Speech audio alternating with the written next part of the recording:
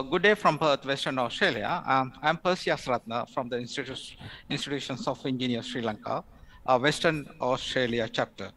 Um, on behalf of the committee and the members of the chapter, I am delighted to welcome you to our seminar series.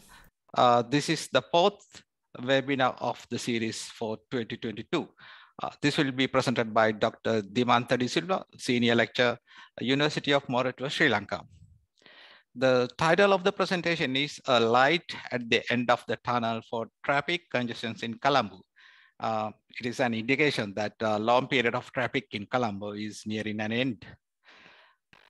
Uh, Dr. De Silva uh, received uh, his MSc in Transportation Engineering and BSc in Civil Engineering from the University of Moratuwa, Sri Lanka. He completed his PhD in Transportation Engineering at the University of Calgary, Canada. He possesses over 18 years of transportation engineering experience in Sri Lanka, Canada, and, uh, and the US as well. His work includes uh, activity-based transport uh, demand models and uh, special economic land use models for policy testing in macro and micro policy planning. He returned to Sri Lanka to join the University of Moratuwa. He, he was a team leader developing the Colombo uh, megapolis transport uh, master plan. Uh, Dr. De Silva has been uh, instrumental in developing the Google Transit for Sri Lanka on Google Map, Maps platform. He's also the co-developer of the MTRADA, a software to Google traffic data in transportation planning. He has been a part of all major uh, suburban railway development uh, project feasibilities, LRT feasibilities, and all major road feasibility projects in Sri Lanka. His research interests uh, uh, include integrated land use transport modeling, transport planning, and transport uh, infrastructure uh, management. Before I hand over to Dr. De Silva, may I go through uh, the arrangement in place for today? Mr. Chamila Priyantha will be managing the overall Zoom presentation from Colombo. he's the manager of ISL corporate communication. Mr. De Silva will be presenting uninterrupted for the next 40 minutes. Uh, you, you can post any questions on the chat board. At the end of the presentation, I'll be coordinating the Q&A session. If all the questions cannot be uh, responded today due to time limitation, uh, we will endeavor to get them responded via emails. Uh, may I now call upon Dr. Dimantha De to commence the presentation. Thank you.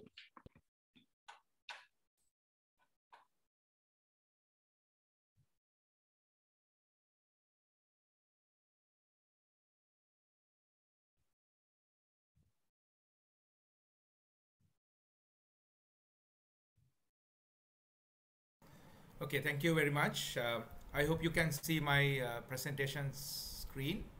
Can I get a confirmation of that, uh, Percy? Yes, of course, I can uh, see. see okay, yep. Thank you very much.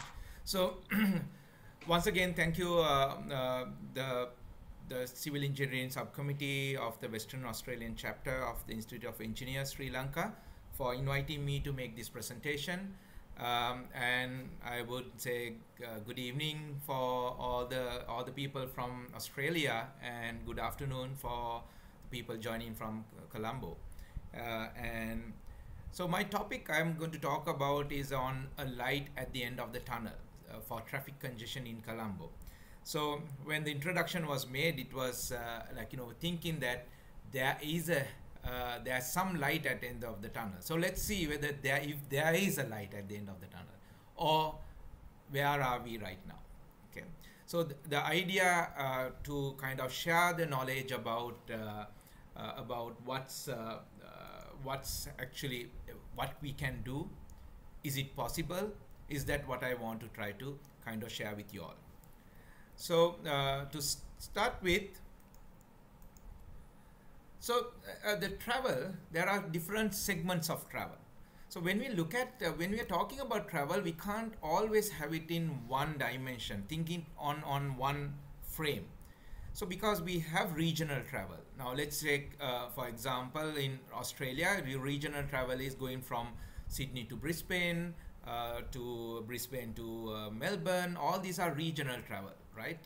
And then uh, in, in Sri Lankan context, going from Colombo to Jaffna, Colombo to Kandy, Colombo to Galle, these are regional travel. So the, the characteristics of uh, the way people think, we people behave, we will we, the way people make decisions are based on these uh, characteristics of this travel.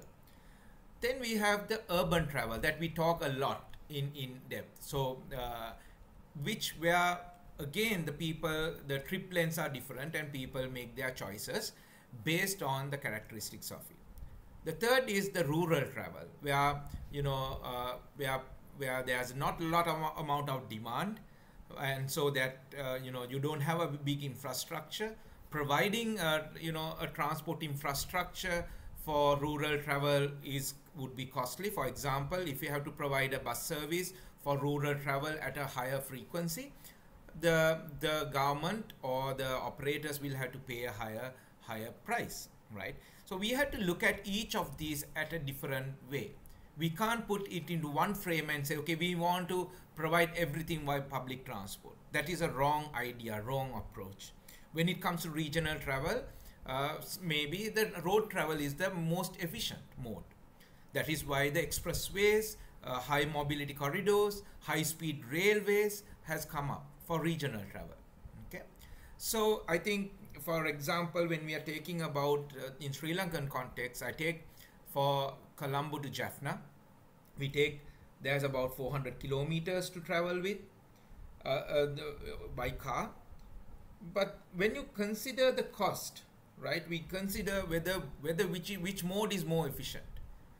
So let's take uh, like a bus normal bus in sri lanka at the moment is about no, uh, not the not the super luxury. The normal is about thousand five hundred rupees one way ticket. Then in a super luxury, it's about two three thousand six hundred rupees in for one ticket. So that and when you compare the, the recent uh, with the recent price hike on trains, the train uh, first class tickets about two thousand eight hundred. Now, if you're traveling alone, if you're a one single person, of course, then the public transport will be a, a better choice. But if you're going as a uh, family of say four to five people, um, then you look at the cost component of each individual ticket, right? So if you do the calculations, uh, it would come up that you know going by road, by car or, or a van would be much more economical compared to going by public transport. So it's it's so there, this is why you need to always keep that in mind when you're selecting, when you're thinking whether it which type of travel it's been made. So, but today I'm going to focus more on urban travel, which is kind of where the congestion comes in, and want to talk about how we would should not should be looking at, uh, you know, uh, absorbing it and looking at uh, finding a solution. Now, what is the problem we have? This picture kind of, you know, covers main, everything. This is on the uh, on Galle, uh, on Colombo on Marine Drive. You see a train full of people. Uh, very you know the train condition looks very you know bad. Bad means the quality looks not that pleasing. You see a road network with uh, you know a lot of uh, undisciplined drivers, lot of three wheelers going without non-lane behavior, congested so you see the problem in one picture. Okay. So the question is, is there a solution? What is the practical solution? Do we have a solution? So this is what I'm trying to talk to you and show you how we can get our solution. Um, so at the end, what you would find out, our listen is, a solution is possible if funding is available and right prioritized approach uh, uh, the prioritization is done appropriately right? So these are key things. We can't find a solution without any funding. If we are going to do some uh, quick fixes and band-aids we will always remain with the same old problem okay um, you know we are in a current crisis at the moment so i'm not not going to talk about the detail what we need to do during this crisis but we will touch a little bit later on and maybe during the QA sessions. What I will show you is within five years, it, now this, this takes certain amount of time. Why? The infrastructure development takes time. Okay. second, the amount of funding, amount of investment we can do at once is limited. So what I have shown is 60% of the congestion can be solved in within five years. So I started this presentation, I created in 2020, uh, updated after the new government came in to show that we can do this in 2025. But you know, two years passed now. If it start today, which is uh, which is questionable again, we can finish by 2027. We can, I can guarantee that we can get a complete solution by 10 years, right? We can eliminate the congestion on the roads and the, uh, the modeling that work we have done has shown that we can actually resolve our problems in on congestion, urban congestion. So to, to before we go into the details, let's identify uh, uh, a little bit on the mobility of the Western province. Why I'm talking on the Western province is Western province is one of the key in, in the in the country. Why? 40% of our GDP comes from Colombo or Western province. Uh, 6%, uh, 6 million people live in Colombo, right? So what we have found is uh, from the only comprehensive study that has been done for the whole Western province is was done by this Comtrans study in 2013. What we found was 10 million passenger trips come in uh, are happening within this uh, western region, western province of, of Sri Lanka. Out of that, 7.8 million, close to 8 million are motorized trips. So still there are about motorized, non-motorized and walking trips happening, especially on, on short distance.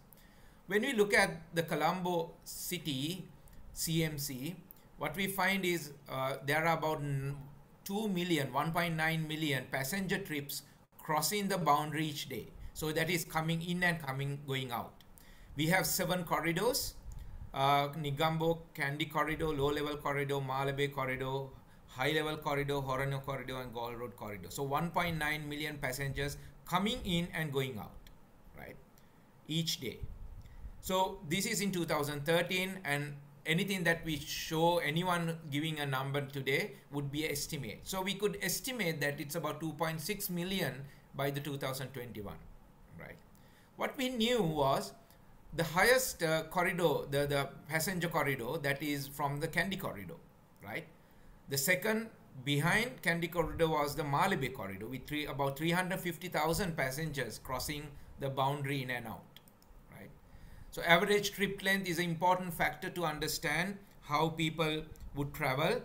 Longer the travel trip length means uh, more distance to cover, more infrastructure needed. Um, the uh, then average travel speed is was about 17 kilometers per hour in the region, but going down to about 12 kilometers per hour average within the uh, city limit. So you can see the problem, right? The mode share is an important parameter to kind of understand how efficient your transport system is. What we find is 52% of our modal share is taken by uh, public transport, which is a good number. But the problem has been it has been gradually decreasing uh, from about 65% to 52%, right? You could see bus is about 48%, rail is only 4%. But when you consider the whole region, this is because the, the, the network length. The bus share is high with about 2,500 kilometers of network. The rail share is with about 200 kilometers of network. So we have to be very careful when you are looking at this percentage. But one, one thing I want to show, highlight is when you look at each corridor wise, each corridor, whenever there is a rail corridor, now Negombo corridor has it, Kandy corridor has it, Galle Road corridor has it. Each of these has a very high percentage of rail during the peak time. So the peak time where the most of the traffics are coming in, usually about 10 to 13 percent of the total daily traffic is being carried during one peak hour, right? So in that time, um, we have about 40 percent are taken by rail. So the one of the biggest problem we had in the Malabe corridor, which was the highest grow, growing corridor, is that it doesn't have a rail corridor.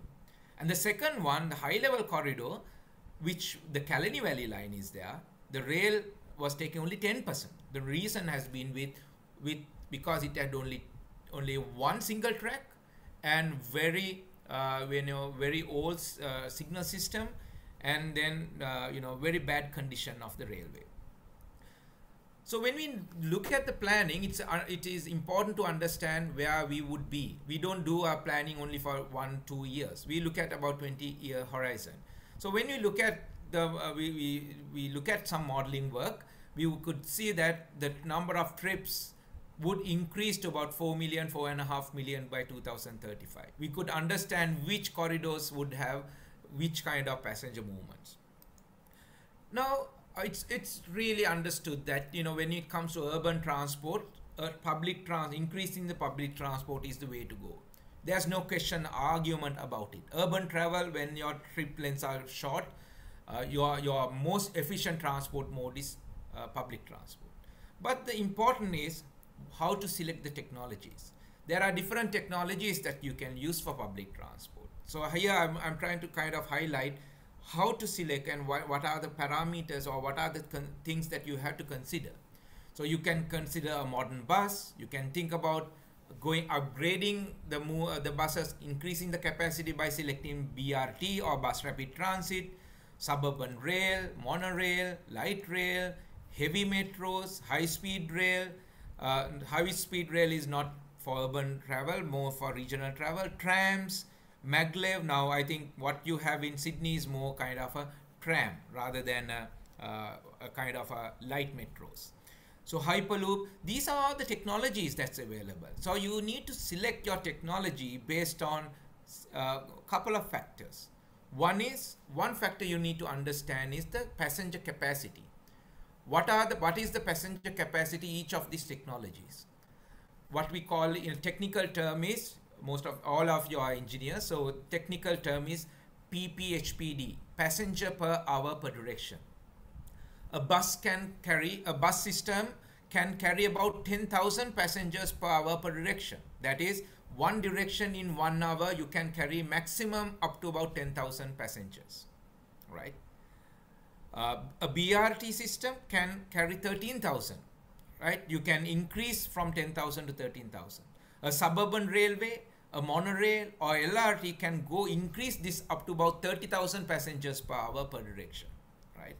A tram is uh, lower, so a tram uh, with uh, with this kind of two compartments, it's much it's much lower. It's ki kind of in the bus system, around 10,000.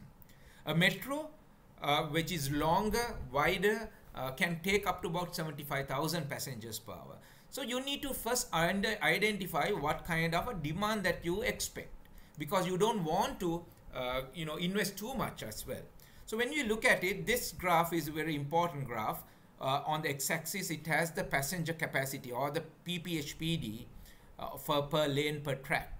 The and on the y-axis, it has the capital cost, US dollar millions per kilometer if each each uh, technology.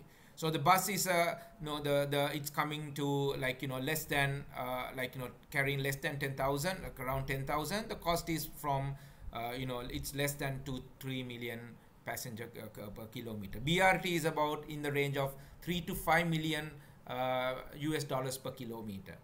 Uh, the LRTs, which can take about 30,000, is ranging from 25 million US dollars to about 50 to 55. 25 is where because LRTs can go on the ground as well if, if the space is available. If it is elevated, uh, of course, the cost will be higher.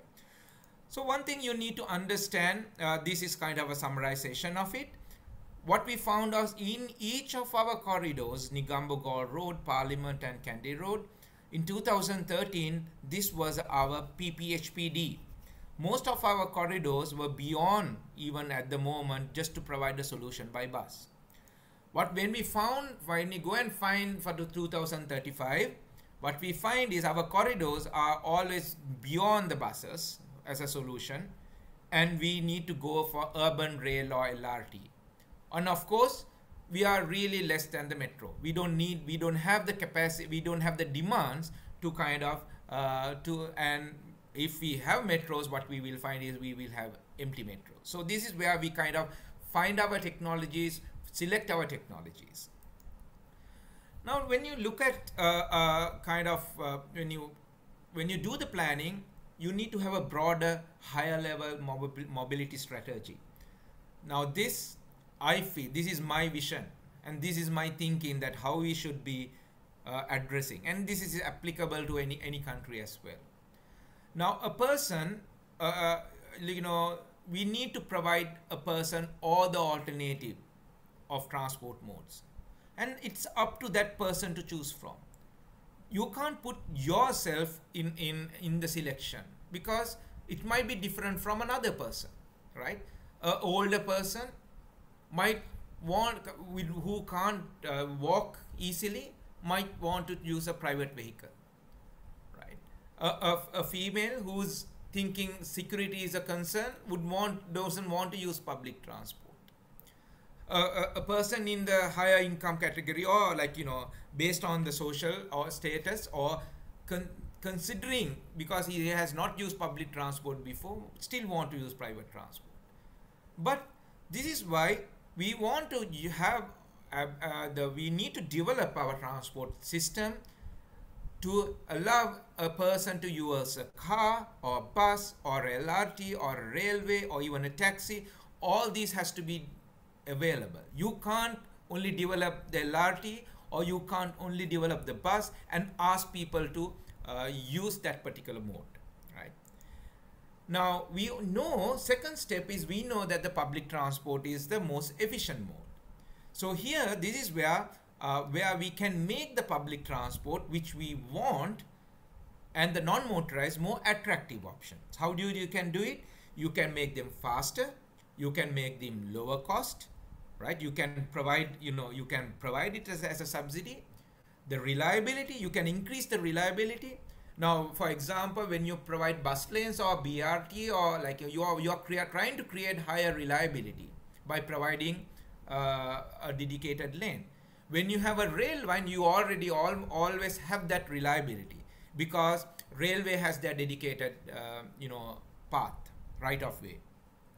Sometimes when you have elevated or a grade separation of for railway, you have that you you have you you ensure that reliability, right? Um, and the connectivity. If you have the better connectivity, uh, you know maybe by having the the access to park and ride, uh, the buses, all these, you can make it more attractive. Now, uh, rail is more reliable is over the road-based transport or maybe it's for car or maybe it's for even for buses it's because railway has their own right of way. You don't have to uh, they don't have a conflict of with the other modes of transport. While the road transport has always uh, uh, conflict with people um, uh, the the non-motorized vehicles uh, uh, like you know you know all the other things like you know, pedestrian crossings signal lights all these have a conflict now, once we have uh, the we are, so once we have the alternate all the alternative modes, we we provide uh, attractiveness for the public transport, but then we can bring our policies in that will discourage private vehicle use. How can do it? We can increase the congestion. We can include uh, apply congestion pricing. We can include higher parking fee. We can provide government incentives for workers uh, to use pub public transport and this is kind of a push towards private vehicle. Uh, sorry uh, public transport. And you know pull out people from private vehicle. Here if someone wants to still use a car they still can use it but pay the price right? The pricing that rather than increasing the taxes uh, for to limit the number of vehicles that is imported to the country you know you should be allowing people to import vehicles. Why? Uh, your your policy should not be based on the congestion on an urban system urban area.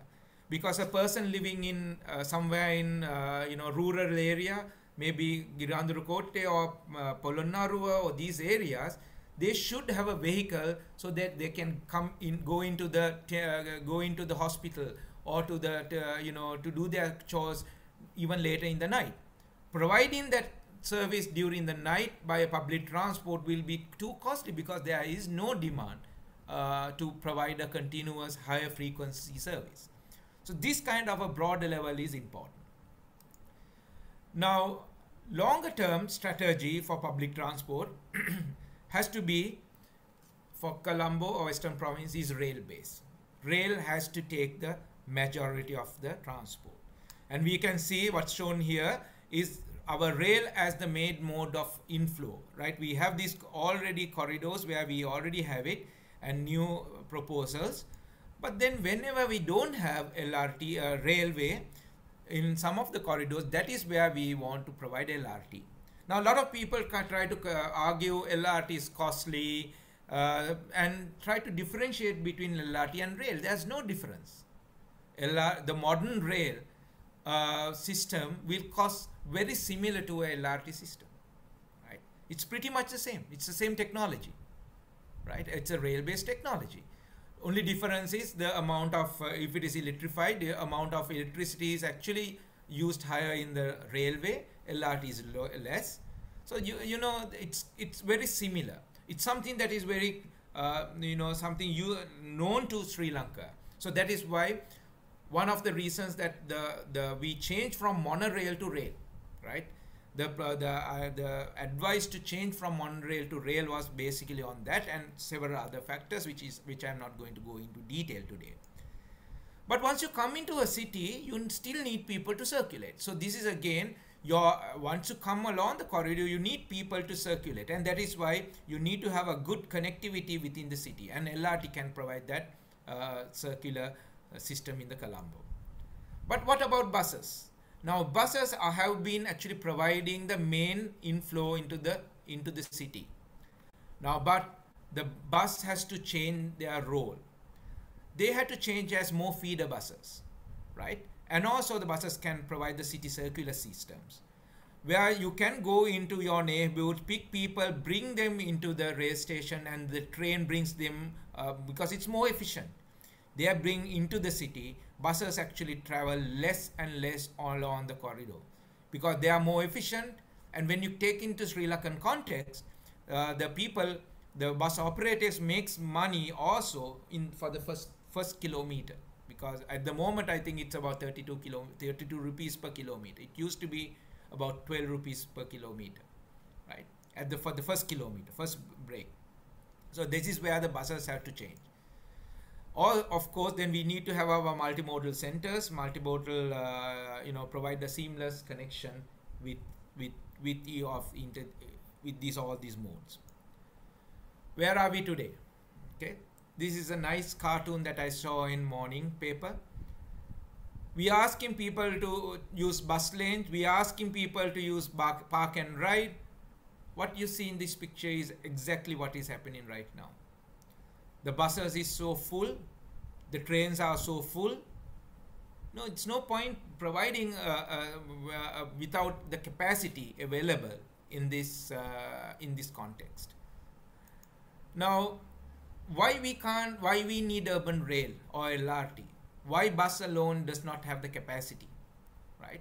So I told you that it's about 10,000 passengers per hour per direction. How this number comes up with, with, with the capacity of about 60 passengers per bus with the number of buses, right?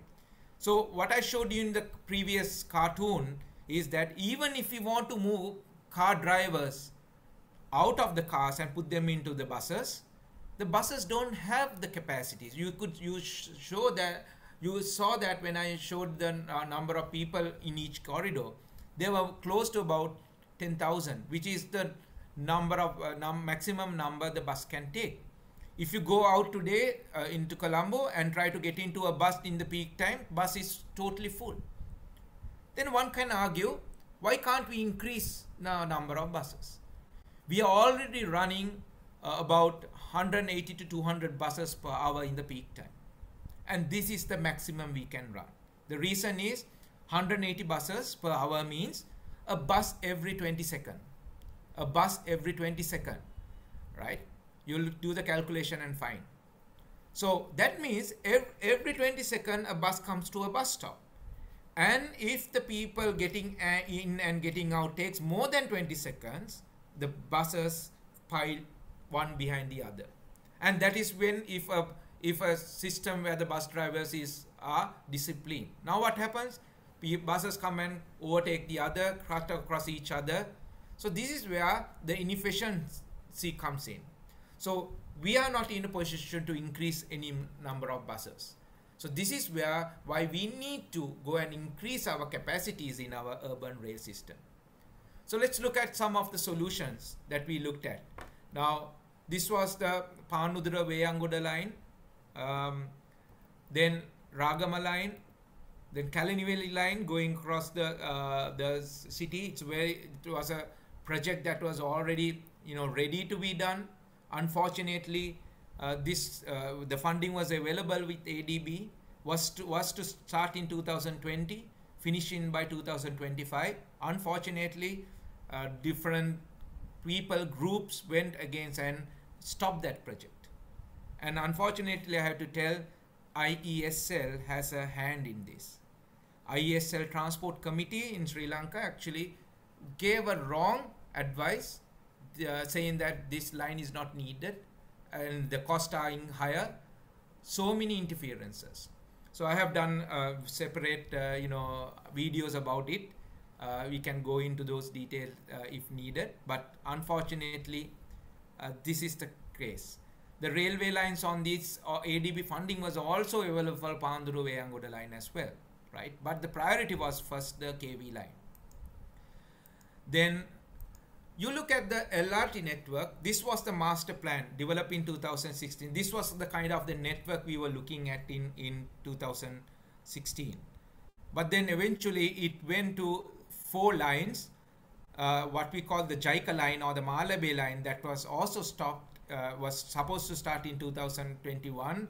Uh, detailed design was ready, tenders, tender documents are ready. It was supposed to start in uh, September 2021 and completed by end of 2024. It was supposed to start from uh, Dencil Kobbekaduwa, sorry, uh, the Chandrika Kumaratunga Mawata and come all the way up to Pettah, or fort. But then this red, blue, green line was, uh, you know, developed out of this line. So this actually came, I, I will talk about it later, these what were considered as a private-public partnership, right?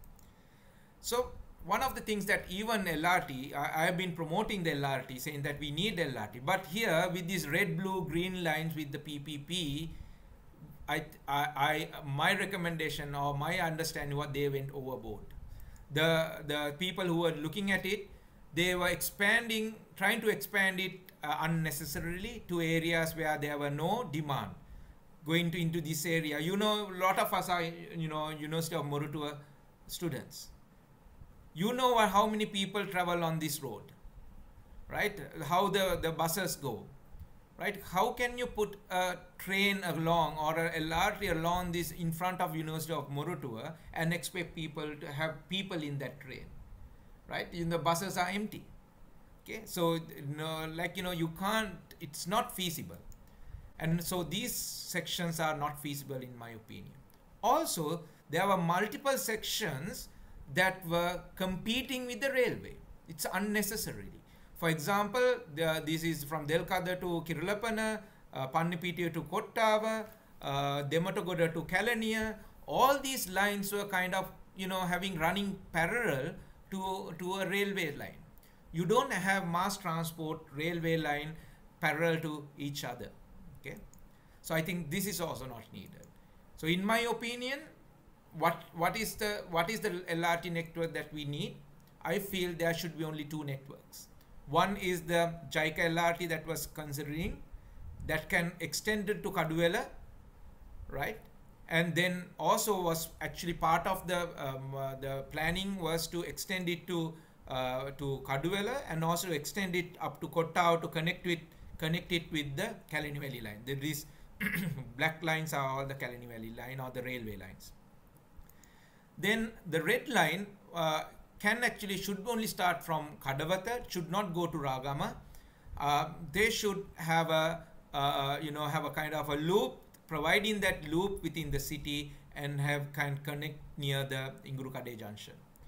why I, and you can provide the inter uh, interchanges available in this location so people coming from the coastal line can get off from here get into Kirulapana someone wants to go to Battaramulla can get out at, at here. Someone who wants to come from to uh, you know he can go from this way to Battaramulla so you can have that connection. Coming someone coming from Kelani Valley line can get off at Kottawa and come to Battaramulla so you provide that kind of interconnectivity and transfers and it is easy to run as two systems because normally a railway system goes as uh, with efficient with about 30 kilometer network. When you looked at the JICA LRT, initially the cost per kilometer was kind of higher because it was a relatively shorter distance. But because the system cost, communication cost, all these are uh, same for a system up to about 30 kilometers. So the when the system is extended, your per kilometer rate comes down. Now when we did some modeling work, what we found is that this is the uh, existing number and where we can go up to by 2035. The KV line can is, is has a demand about 201,000, about 200,000 passengers per day. Coastal line currently taking about 100,000 can go up to about 400,000. Main line, you know, same. LRT uh, existing we don't have, but we can go up to 300,000. PPLRT, uh, it's about 183,000 and so on. This is where our modeling, actually we understand what our demands are. And what we find is we can provide about 50% of our uh, demand, passenger demand can be supplied by rail and LRT itself. Now what has been done with buses? Now uh, bus priority lanes was tried 400 million was spent, right, on marking these lanes and also uh, on this section, this black section, Borella to Maradana, uh, road widening was done uh, and altogether about 400 million was spent on that. So some lanes mark in the evening not used at least once. For example, uh, from Maliban Junction to Moratuwa, this section there was a lane mark on uh, on on south direction for the evening peak, not once uh, like it was not used at least once. Ayodhya Junction to Polduwa again not used once. So tried multiple times, have failed to produce the promised results, and it's not practical in Sri Lanka. One of the main reason is if you look around these corridors, there are multiple by roads coming across and uh, connecting the main road. It's not like our the usual arterial roads that we find in uh, countries like Australia or Canada or US. Our our mm, like you know although we can think that Galle Road, High Level Road are arterial roads, they don't function as arterial road. So one of the things that practically was the problem was Second problem, this was on Parliament Road, we were monitoring uh, using the Emtrada software that we have developed to monitor the speeds on the road. Uh, I will talk about it in a short while. We could see that what happened before and after the bus priority lane. The average speed went uh, down. The travel time increased uh, after the bus priority lane was introduced. Why? This is this is you know this is a very simple calculation for a transport engineer because whenever you're you're running almost at the capacity of that road right this is the number on the parliament road about 5500 vehicles per hour it is taking about 1400 vehicles per each lane. Capacity with a ca about 1500 the we had a reversible lane on this parliament road. But if you provide bus that's about 200 buses you're converting about 1000 about 1000 vehicles into the other lanes and you are going over the capacity. So it's very easy to know that when the first day of operation it will take it, it will be chaos and then you need to understand your speed will go up to about less than 5 kilometers per hour so you need to understand how long it will take and what is the amount to go back to this level of 1400 you need to about 25% of people from cars have to shift to bus. Now the other question I showed is, does the bus have capacity to take that 25%? So whenever you want to look at these kind of things, you need to really look at whether you are doing, doing the right thing. The BRT has uh, five uh, components. Dedicated bus lane is needed. Specialized station is needed. You need a uh, you know specialized station like this. Specialized vehicle is needed. Intelligent transport system is needed. Operation management is needed.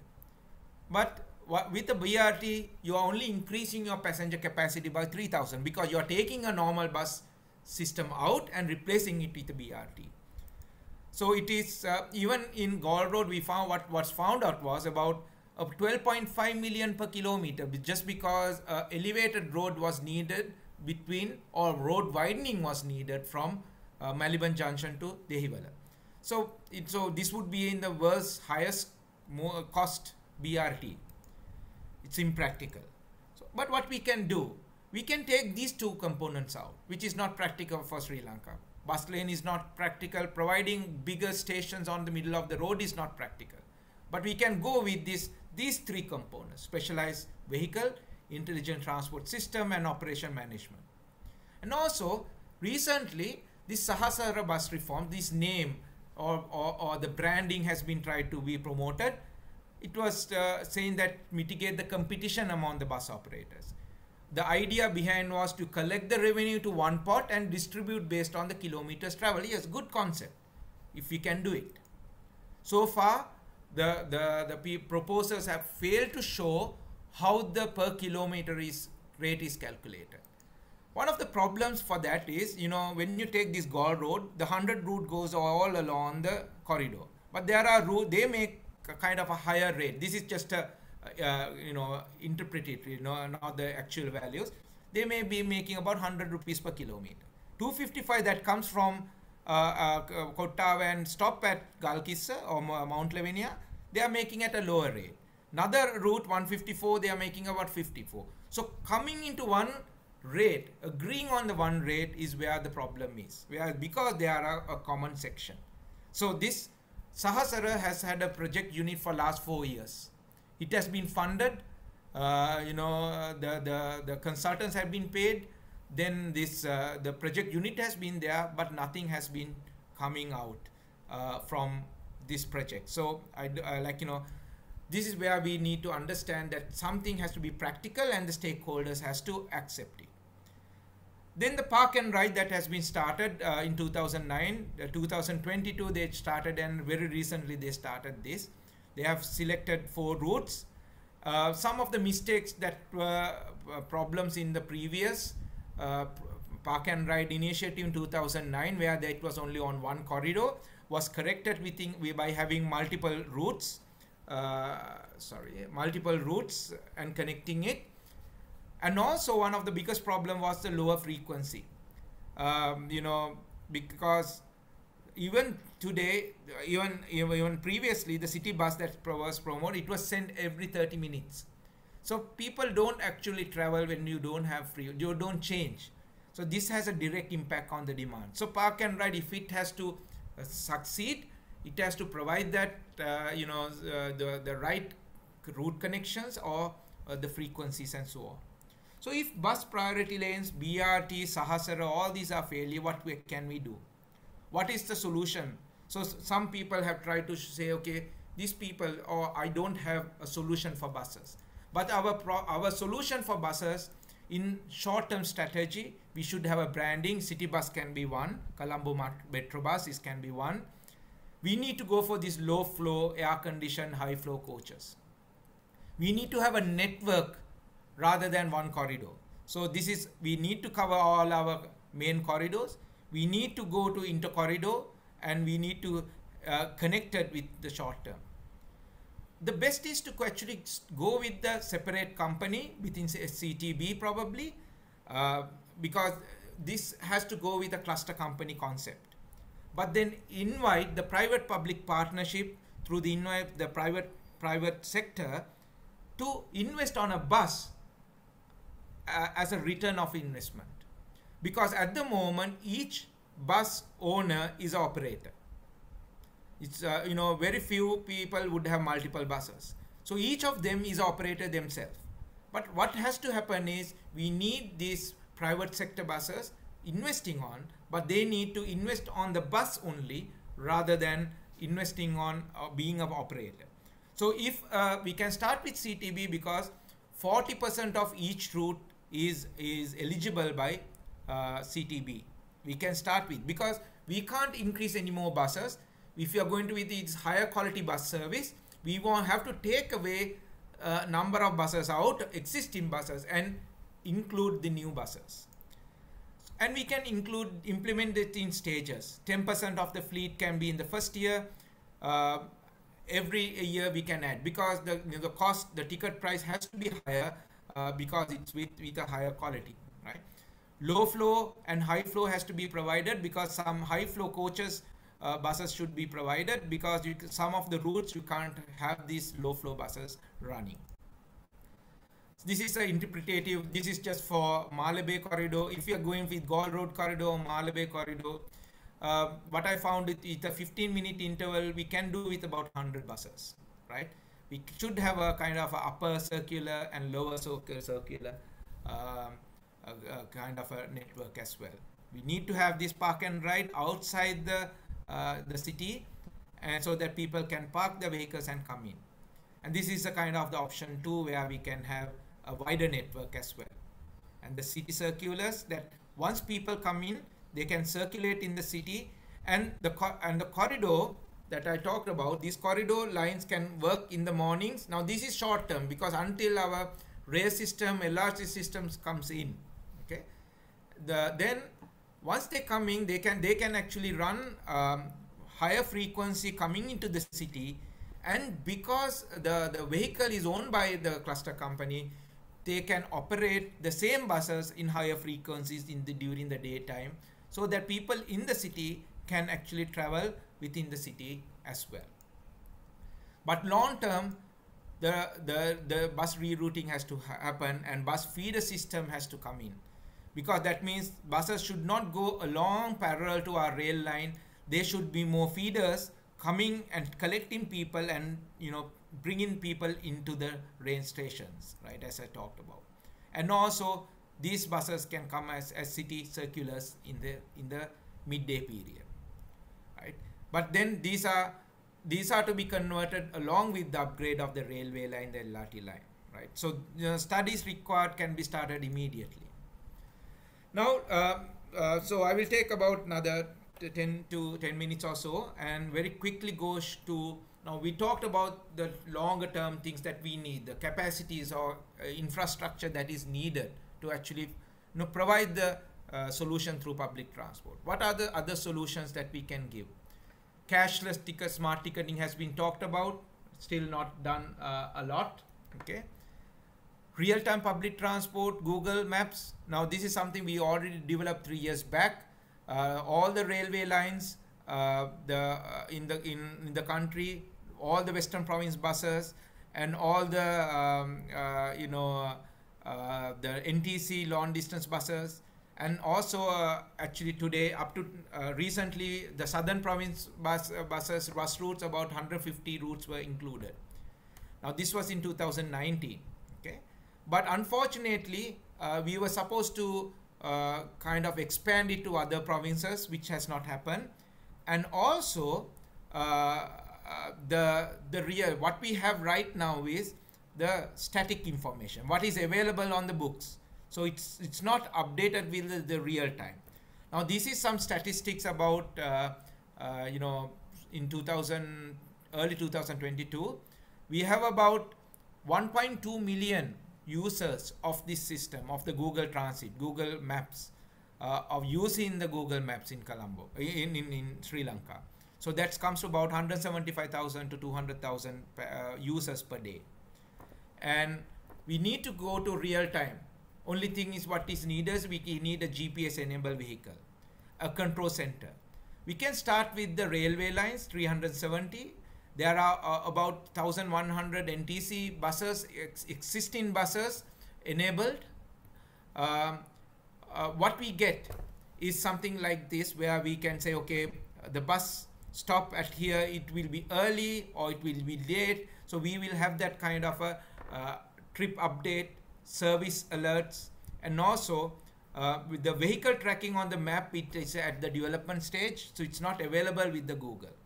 Now, why are we looking at the Google is that Google is actually an application that's being used widely all around the world. Okay.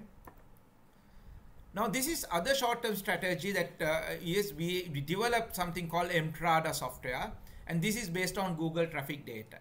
Without going onto the road, we were able to identify where our bottlenecks were. We can find any section, not only on Sri Lanka, anywhere in the world the Google, the Emtrada platform was tested in uh, Japan as well. Uh, hopefully we can do some work in uh, Australia as well. So any road section, um, we can find every one minute we can find the the speeds.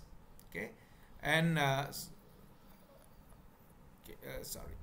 so that's that's something that we can use. These have been developed by the university by my team, and like you know co-developed by my myself and one of my students who's actually in Australia these days completing his PhD, uh, soon to be Dr.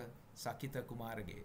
So Sakita probably is in the uh, in the audience today, but uh, he's the one who brought this idea how we can use it, and we have developed into a, a software that we can use in a lot of our work in in our transport planning. Um, you know, you, something that you probably know don't know is our signal systems have not been updated sometimes for three years. So this is something that we need to update. Uh, timing update every three monthly using the Google traffic modeling that I talked about. Uh, manual control by the signal uh, signals by the police. We can do a vision-based update on site as well. Uh, now, this is where the Emtrada was used because we can use identify the queue lengths at a junction by using the Google traffic data as well.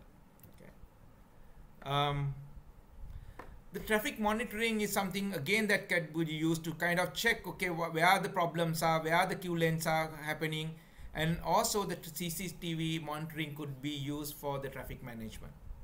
And this is where we know we introduced the reversible lanes on the Parliament Road. We used the simulation to identify we did the work but unfortunately this was now about probably four to five years back even even more 2017 if i can remember. So idea was within six months we want we will go to this kind of you know you the people you in australia you know these systems. This is what we should have gone. But unfortunately uh, we have not moved into this. Uh, traffic law enforcement is an important factor. We need we can increase our road existing road capacities by having CCTV monitoring rather than you know catch the people on while they are breaking the law and send the ticket to home. So rather than manual, we can go to automated. Uh, you know, different types of violation has to be identified. Uh, this will increase the traffic safety, will reduce the traffic congestion a pilot study was proposed in 2016. It was only needed, so 10 location only needed 75 million. Unfortunately, uh, this was not implemented. So lane law enforcement was done. Uh, unfortunately, again, without the manual process of people, police officers being on the road, is not going to work. Now, this is again using the Emtrada. We were able to capture and check as a help for police to see what the progress was this is dotted line was without the lane law and this was the, the, the blue line was with lane law. So there was a marginal increase in speed. You can see the speed has increased. But suddenly at 9 o'clock, this extra lane, the reversible lane was stopped so that the, the vehicles to the parliament could be sent and then, you know, that was the chaos and that was the end of the uh, lane law enforcement. So the problem is we only increase a very marginal level. So the effect with manual labor is not going to work. So you need to go with CCTV monitoring and so on. Right? Traffic incident management. Um, so I'm thinking I'm running out of uh, time. So I'm quickly going through this. Um, and uh, you know the toll, we can use the toll, revise the tolls, so that we can actually make more people use the expressways. One of the problem with the use of the uh, lowering the toll is that we don't we don't have uh, our manual ticketing on the toll, on the expressways. So one of the prerequisites is we need to go the e-toll for that. Rest areas for expressways uh, to look at the safety side. Now this is something that we have put very recently and uh, on on the Central Expressway. This is the rumble strips. Uh, you know, people in Australia should be knowing this, right? For so that we can alert the fatigued drivers, right? Now this is something that I have done in uh, in Colombo in schools. Uh, you know, we see a lot of uh, you know congestion near the schools, and what we did was we gave a solution by having a parking restriction, quick drop-off area, short-term parking enforcement. This was done near Visakha in 2015 and followed by at Musaeus in 2018. What we did was uh, a very uh, near the gate, we had a pick-up and drop-off location. We provide a short-term parking so that some children could, some parents can drop the children off uh, to the gate within three minutes and come back. We provide uh, information to the parents, right? And uh, this is uh, how just a small video to show you uh, how it was okay?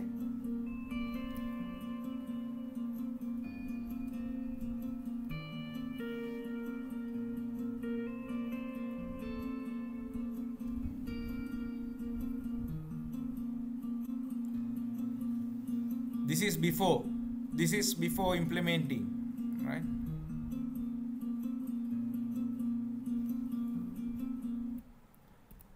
I will try to go through, uh, I will try to, uh, you know, fast forward a little bit, right? So we provide these drop-off areas, we mark these areas, and just to show you how it is right now. Oh, I'm sorry. Okay. So this is after implementation, the right next day. So simple interventions. Now this is today uh, you know how it is happening now. You could see that it's functioning very nicely uh, and you don't have you have this three minute parking. You can park and get into the gate and drop off the child and come back. Uh, you have uh, you, you have the drop off areas. You can quickly drop off and leave. So these kind of things can be done easily to other uh, schools as well now this is a, another application that's been developed, uh, Pasal Maga, so that we can actually, the parents can find school vans. So this is something that, uh, you know, has been implemented. Highest quality school bus services, um, uh, you know, separate, uh, you know, with a higher quality service. Three-wheelers uh, with, uh, you know, three-wheelers are not regulated in the country, not the school vans not even the office vans. So these are things that can be considered right. Now finally, I would like to come into the uh, non-environmental sustainable transportation, that is the bicycle paths and that has been talked, right? But recent study that we have done showed that now these are the things that the pedestrian, the, the cyclists actually look at one of the things, the most important thing that they have said is they want a having a smooth, non-slippery riding. So this is was uh, you know consistent with other countries where you do have snow and so on. But the main thing they would ask is they want a riding a dedicated cycle pathway free of pedestrian or any other type of traffic. That is the most important thing they are looking at. Having lighting, uh, having uh, having overpasses to avoid complex intersections, uh, you know, having secured parking, then having shaded trees, and likewise we, we were able to identify what are the important factors.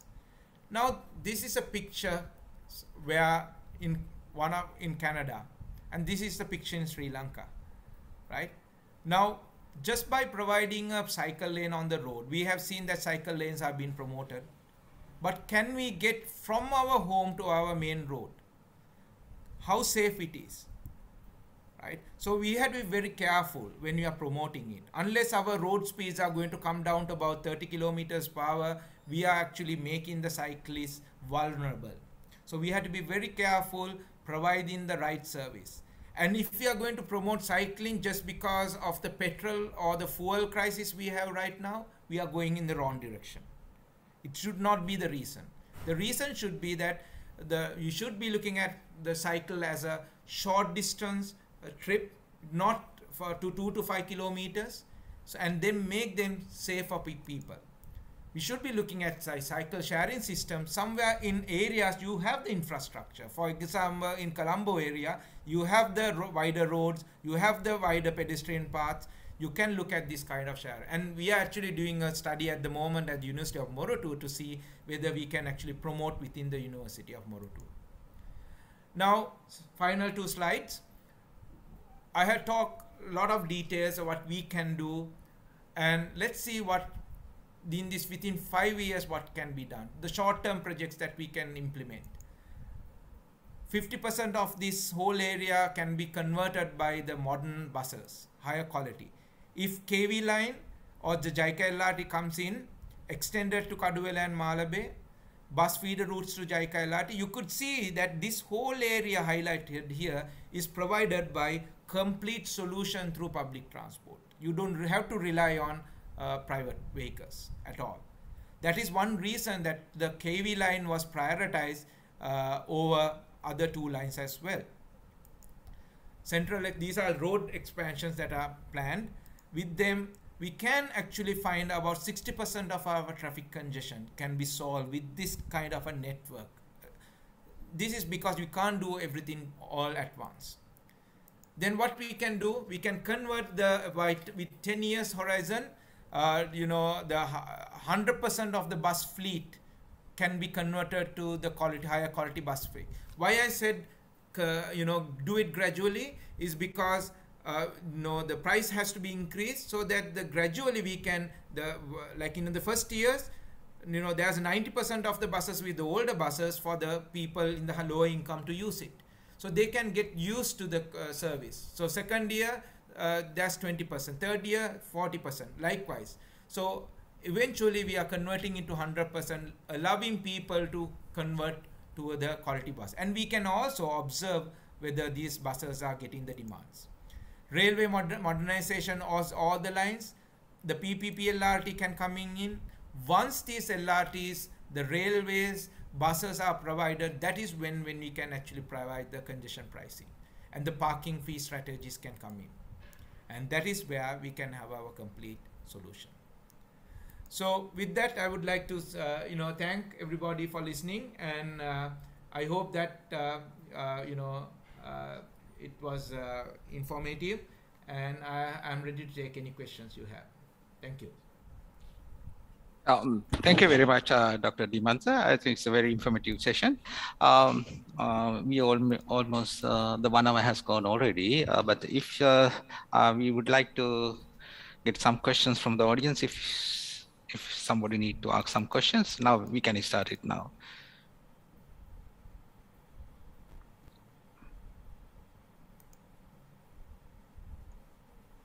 Hello, can you hear me? Ah, yes. Yeah, actually, I have, first of all, uh, thank you very much, Doctor, uh, for your uh, lecture, which is very useful for us. Uh, my question is mainly related to the uh, technological obsolescence we are experiencing in uh, this kind of, you know, new transportation systems. when we bring these modern transportation networks into our countries, it is it is coming along with the sophisticated technologies which is subject to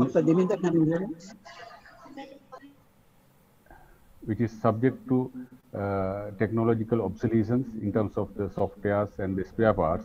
And eventually uh, the authorities or the, or the governments will have to spend huge amount of money uh, for upgrading the systems and uh, go behind this proprietary system owners so what is the solution in terms of you know addressing this technological uh, obsolescence uh, aspect. Thank you.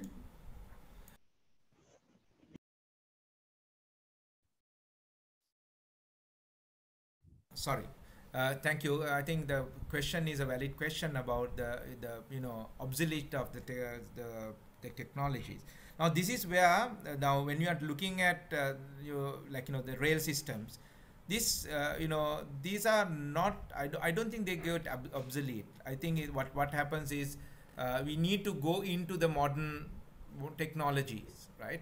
And uh, I feel we need to absorb that. And I like part of the funding has to be allocated for that. And that is where the training has to come uh, to kind of uh, the, the, for example, the JICA LRT and also the Kelani Valley uh, the, or the suburban railway, the part of the capacity increasing of in, in local context was uh, was part of it. So the the people were trained in Japan to kind of uh, to understand these technologies and to use of their technologies. I think uh, you know we, we can't we will have to have uh, we will have to have the spare parts we will have to have that but that that it's part of the maintenance uh, you know how plans that you prepare and your financial plans has to be kind of prepared with that kind of in mind yeah I think uh, Jafar Smiles uh, raised his hand. He can, uh, you can uh, unmute and ask the questions from the Dr. Dimantha.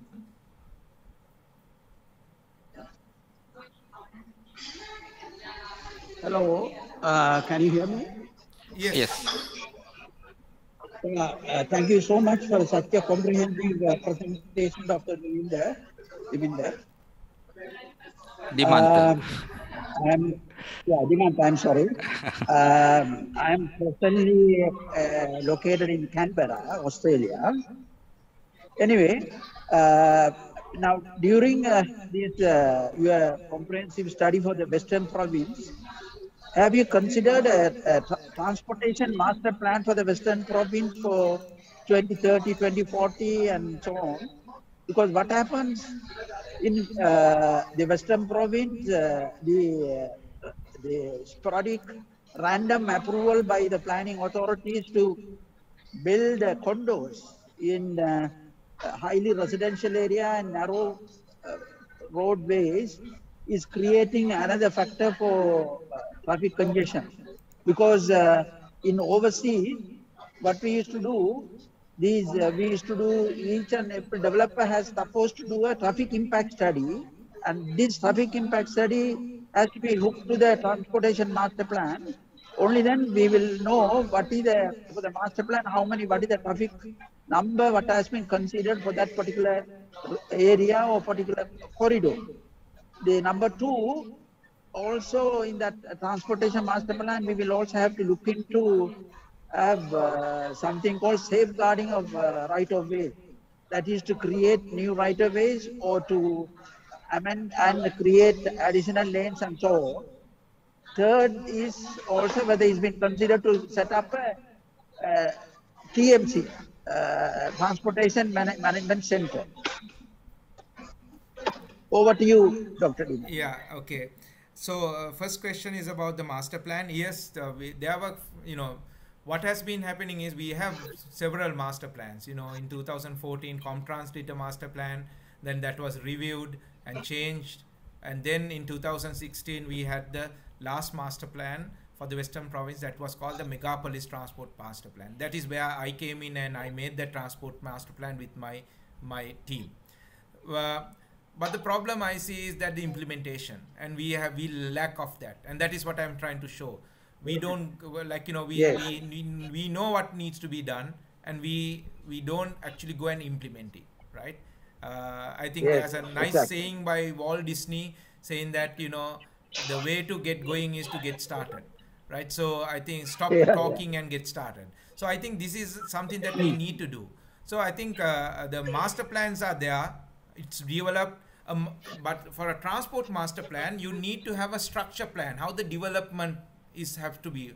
Where your Yes. residential areas Exactly. are. Where is your uh, where is your other uh, industrial or office buildings are, and that has to come from urban Yeah. planners.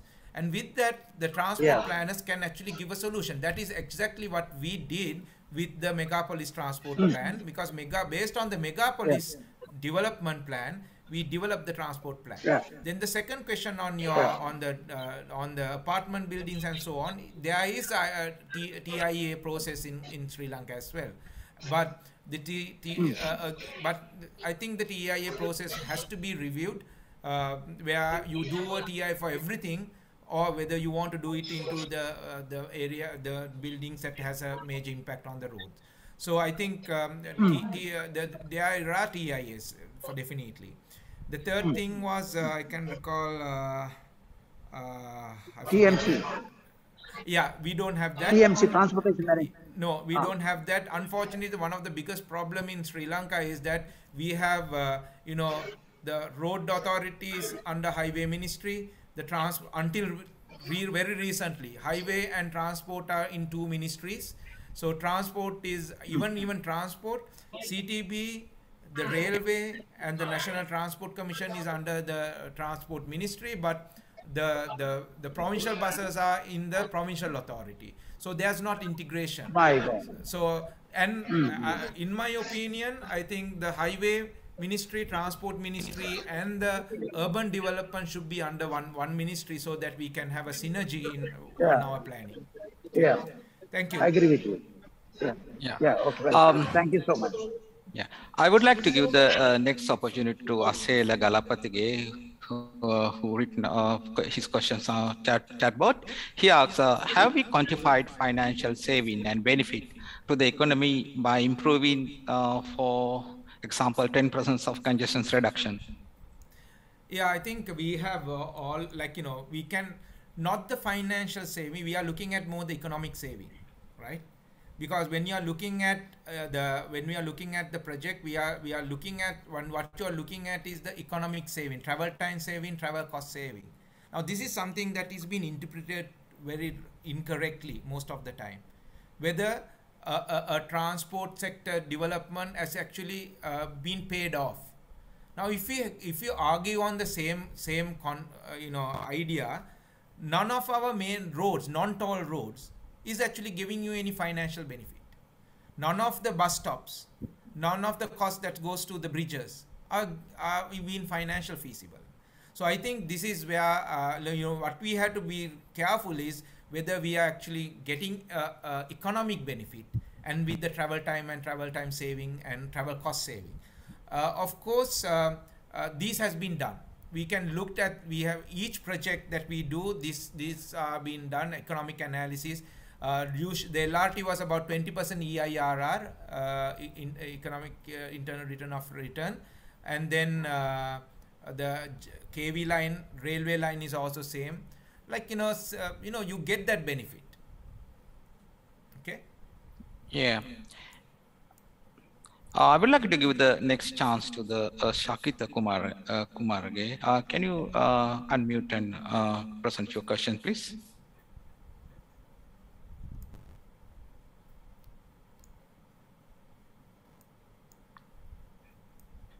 Sakita, I can't hear you. Yeah, uh, he's not uh, unmute yet. Okay, uh, we'll go for the uh, next question from the uh, chat bot. Uh, the question is come from the Mohan. He asks, how come do you understand this type of mass transportation is needed by 2030, 2040 or 2050? People might be thinking about moving away from Colombo area by 2050, for example. Yeah, this is a hypothetical situation. You know, we can we might be thinking people would leave, move out of Colombo, but this has not happened for the last uh, you know 30 40 years. People have been moving out of the center of the Colombo because it's uh, not affordable. They have been moving uh, to the outskirts that which has resulted in needing more and more mass transport into the city right because our job market is still in the city you won't you won't take away the city like you know you won't take like you know we were trying to move out the uh, the the job jobs or the official work, office works from the central part of Colombo to Battaramulla what happened? More more jobs came into the more uh, you know officers came into the the place spaces that was vacant. So Colombo will never be an empty space. People will start we will always want to come and travel live in colombo. So i think uh, uh, you know long term planning as 2040 and 2050 is it's, it's actually re- really beyond the technological uh, level as well where maybe the you know the different things autonomous vehicles will coming and so on. But 2030 is, is something to, to usually we look at these 20 year horizons. And i think to tackle our the problem we need the transport mass transport and um, you know uh, the hypothetical thinking that people will move out of colombo has not happened uh, so far Yeah, uh, thank you. Um, the next questions. Uh, uh, Dr. Dimat, are you okay? Because now one uh, uh, one hour twenty minutes has gone already. Are you? Uh, yeah, I'm okay. Okay. I'm to, yeah. Okay. As yeah, long as people are okay to stay on. Yeah, thank you. the next questions. I'm not sure whether Sakita is still. if you want to ask your question, um, if he until he ready, I will get the next question from the board. Uh, Upali Pereira is asking, uh, appreciate your effort and work, uh, working for LT plan to overcome this uh, burning issue. Uh, enough proofs to kick off your proposals can be found in all developed countries right now. Uh, countries right now, do you see any sign to reactivate the discussion? Give me a minute. Uh, the decision maker, yes, I can see the. Yes, yeah. Yeah, yeah. So I think uh, LT LT yeah. plan uh, is talking Upali. I think he's talking about the LRT. Uh, of course, uh, it's a needed project, and um, unfortunately, I don't see uh, it being restarted. There have been some talks about uh, you know talking with Japan to get the funding back uh, I think uh, it's not the biggest, uh, it is not the biggest need now, right now. So, but if we can secure that money, if we can restart, of course we should be restarting. The reason is it's not something that will have an immediate burden on the country. Why? Uh, if the IMF you know, negotiation is not going to be impacted by that, because we don't we don't have to pay anything until uh, 12 years, right? 12 years it's a grace period and also it will actually boost the construction industry which is kind of in a, in a big problem right now um, you know there, there is uh, about close to about 42% actually is going to retain uh, in to like to 40 to 50 percent are going to retain in the country uh, of out of this uh, funding right you know so that is going to come into the economy of the people of the job industry so actually the reactivation uh, hopefully can be done, but uh, you know uh, at the moment uh, whether it's affordable for us is, is the question. It was affordable to us uh, you know a couple of years back and it should have moved forward, but unfortunately at the moment uh, whether we can take loans is it's a decision that the financial institutes like the, the treasury has to take. What are the priorities? whether what are the implication of taking other loans and so on but definitely we have understood that we can we can get economic benefit because construction is only take only three to four years uh, and we'll have about seven years of operational and economic benefit before we start paying for that infrastructure okay yeah thank you uh, the next question is from uh, Nalaka Senivaratna he, he asks, uh, will Sri Lankan, Sri Lankan uh, ride on public transport services park in their vehicle, even having luxury public transport services? Uh, and uh, shouldn't change their mind, habits, and ethics. Yeah, I think uh, well, very valid, and this is all got to do with the with the people's behavior, people's thinking, right?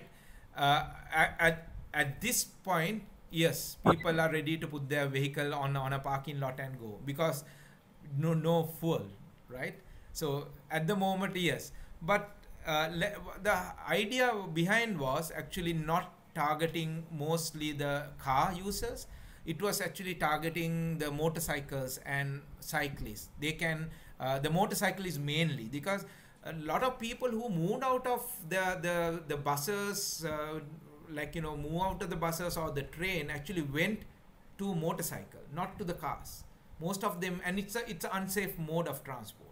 And you can't expect them to just discharge like discard their uh, the the the motorcycle so this is where we can provide and what we expected was that they will actually use the bicycle to get to the station and park and ride and uh, the of course uh, this is where we were looking at drop and drop off and go, uh, where we can the people can drop off and go, not only parking, but those facilities are important. I, I, I agree to a certain extent. Uh, a person, uh, you know, parking the vehicle for uh, in in can be and can, can has to be looked into. And uh, we have done some studies to look at it, and it shows that uh, as long as there is security, th there's one of my students actually doing a study on this. I, I have seen, I see him on this forum as well.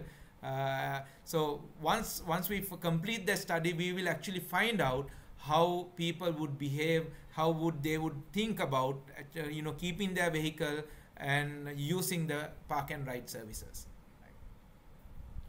Yeah, thank you. Um, the Shakita, I uh, I unmute you. You can uh, now yeah, present your uh, question. Thank you, Percy, for unmuting me, and uh, thank you, Dimanta, for the nice presentation. And I have some question regarding not the transport planning, of course, because I'm quite aware about the what's happening. So, in order to update what's happening in Australia, I think it's quite important that last week uh, in Australia we uh, released the Adelaide Railway electrification, which is about 42 kilometers, which cost around 842 million dollars.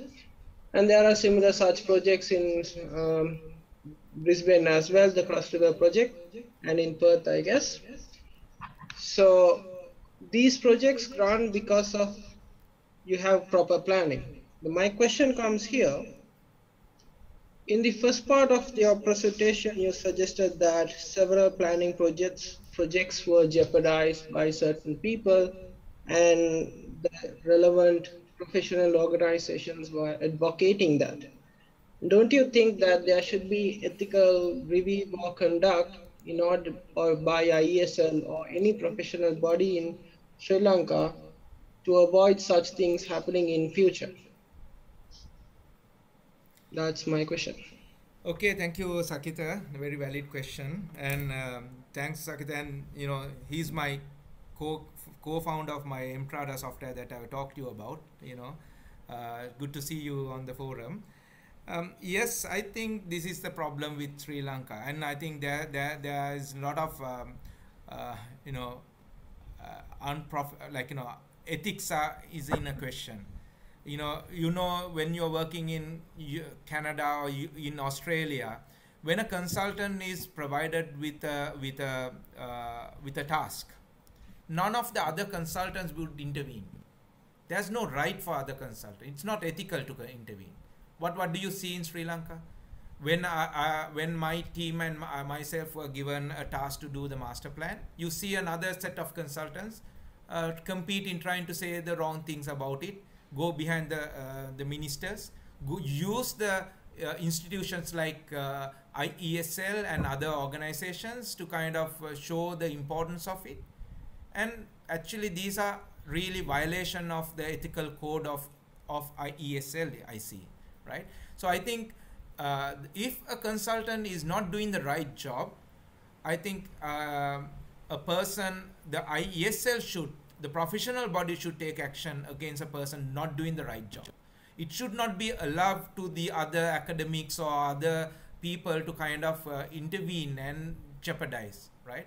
So good example is the Kelani Valley line that I spoke about. Uh, IESL interfered, I would say, and and they are totally responsible for that. So transport committee should be actually, I, I suggest that IESL actually look at this and find out because the, the counter proposal given was not practical at all. I will just give an example. The Kelani Valley line counter proposal saying that you can reduce the cost uh, by a certain amount was with a gradient of 6%. It was absurd to hear uh, as an engineer from a set of senior ISL engineers coming and giving a proposal with a 6% gradient of railway.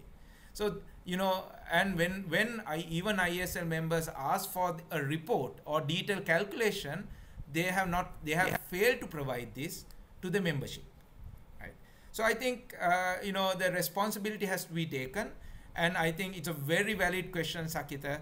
I think we had to start the accountability because in this country I have seen uh, uh, you know a, a, medical doctor talking about uh, uh you know organic farming uh, uh, economic professor coming and talking about doing transport planning and you know the other people interfering. So the people who have interfered and given their advice they should made made accountable. And with that we will actually get things going and I, I, think I think that is where we should start, and that that is where the ESL actually can make a difference in the future. Thank you, Sakita. Yeah. Um, thank you, Dimanta. Um, we have uh, three more questions. Uh, I think um, if you're happy, we can I can. Pro- yeah, sure, sure. We can go. Okay. Yeah. The next question is from uh, Ruan Idrisinga. His question is, uh, with the present economic crisis, uh, how feasible the strategies you propose for short term, short term, despite the policy implementation issues, within bracket, at least the uh, conversions of bus fleet into high quality bus network. So uh, where, where, where to best start? Um, okay, um, the question was, can, can you repeat that question, please?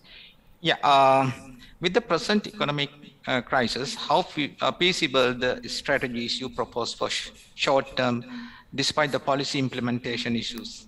Uh, within bracket, at least the conversions uh, of bus fleet into a high quality bus network. Right. So uh, I think very valid point. whether with, with the economic problem we have, whether we have funding, yes, so the short term, I think this is where we, we, we are with the problem is. Now this is where the politicians look at. They are looking at only short term solutions because they want something to be having within two to three years. But are we getting the solution? Is it a band-aid only, right? So that is where we need to understand. We can say we are going to put park and ride. We are going to put like you know as a short-term solution. we have given a lot of solutions to the policymakers saying that you know you need to short term increase the number of trains you need to uh, have at least give us a park and ride facilities uh, you know try to uh, you know upgrade the uh, you know the use the road system make it more efficient by updating signal times and so on right? So but this solution is is not because we want to take the congestion out it is because we are having a problem with our fuel at the moment right? So i think uh, of course increasing the quality of the buses is an important factor. And this is what we have said in our Ma megapolis master plan done in 2016 don't do these bus lanes don't do these uh, uh, brts don't do this uh, you know sahasara what you need to do is upgrade the quality of buses so that the people who are losing from the buses can be retained. Because we know the buses are already full. Okay? So i think in the short term we had to use efficiently what we have, uh, what, what are, what are the, uh, the systems that we already have. Then we need to go to our different, like if, if to the current problem, we need to go to our traffic management or traffic demand management systems. Even in our traffic uh, uh master plan, we had promoted flexible work hours back in 2016. We tried to start it in Battaramulla, but now it's a good opportunity to do it we, we are trying to go to the uh, you know compressed week of four days. Maybe we need to implement it for schools as well. You know you know uh, 20 to 30 percent of our trips are school trips during the morning right? So then we can reduce that. So we need to go to multi it's not only railway it's not only buses it's not only uh, you know cycling.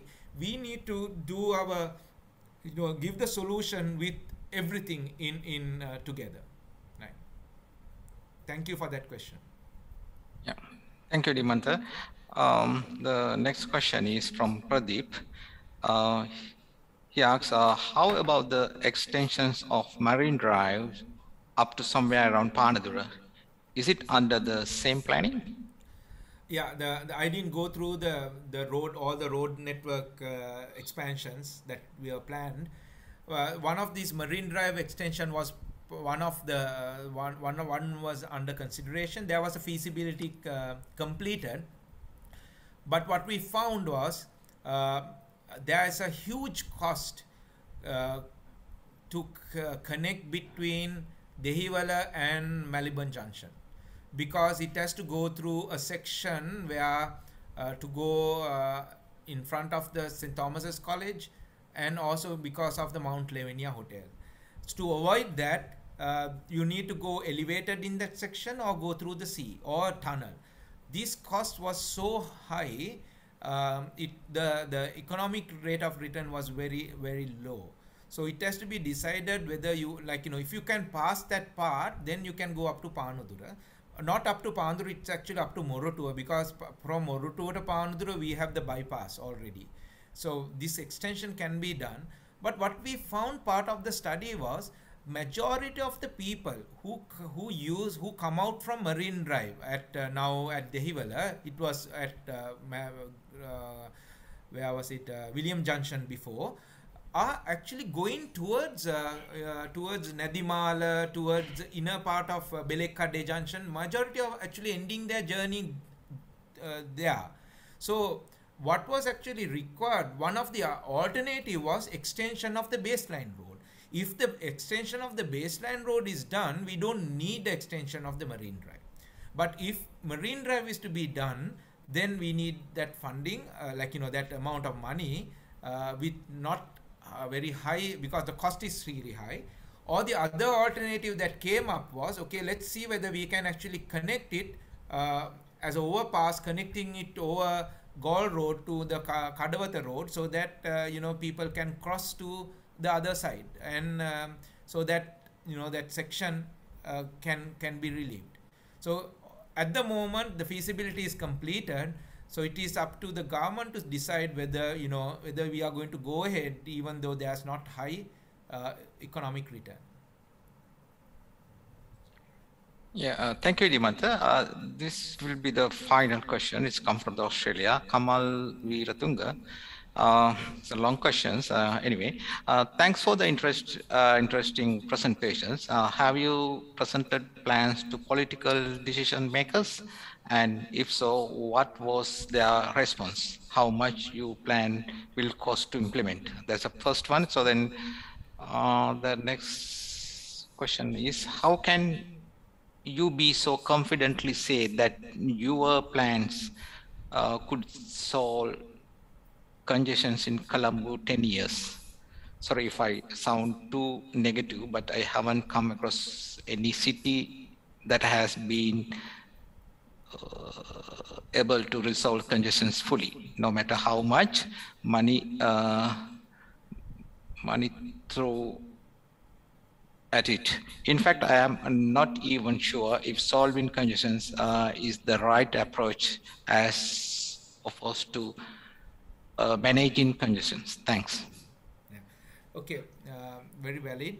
I think the first one is about uh, political decision makers. Yes, uh, this has been, uh, you know, not presented directly. Uh, I have tried to send this to the political hierarchy. Um, you know, not a person who goes behind the politicians. So I don't, if invited, I'm ready to present it. Uh, but at the moment uh, not directly to the higher right? but I have presented this to the secretaries uh, to some uh, you know some of the groups as well but uh, you know the response has been initial response at, at this moment now oh, let, let me break this answer okay the first one is like you know during the 2016 at that time it was we spent about one and a half years trying to uh, tackle the, the what I call the sabotage group, trying to uh, uh, block the LRT. So it took one and a half years before we could actually start that. And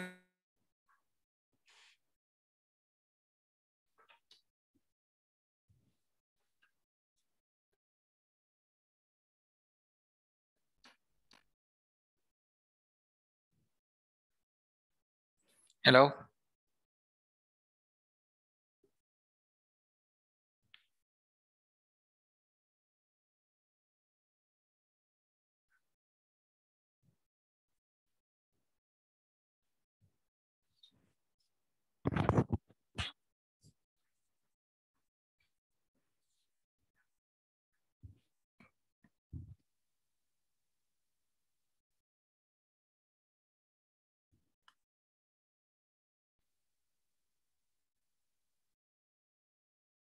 Can you hear me now?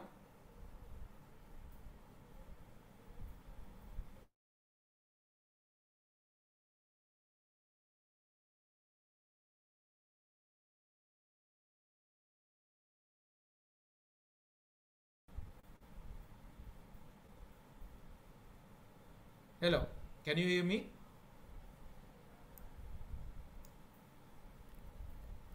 Hello. Hello.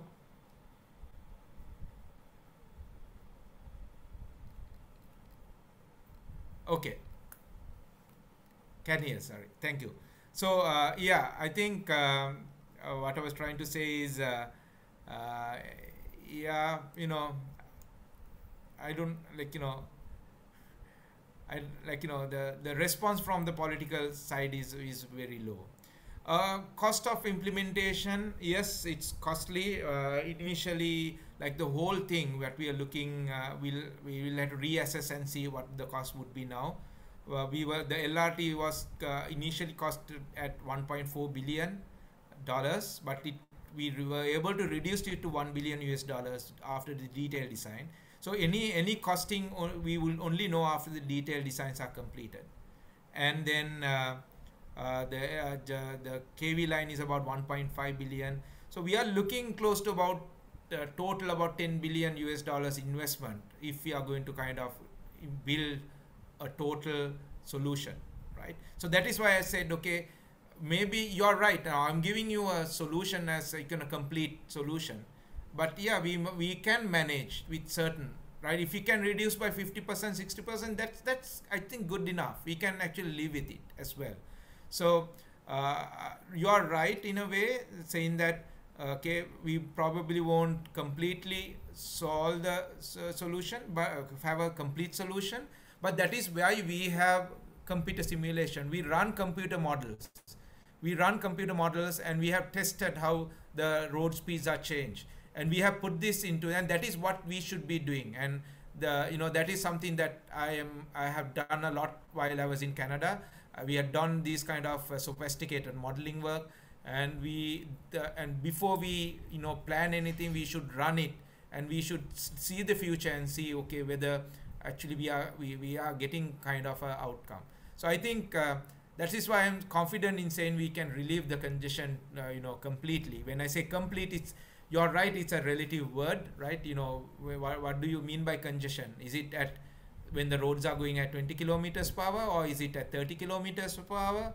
So uh, you know i think it's when people feel that uh, you are not wasting time on the road and you have that high reliability as well. Right. okay. I can't hear you uh, uh percy.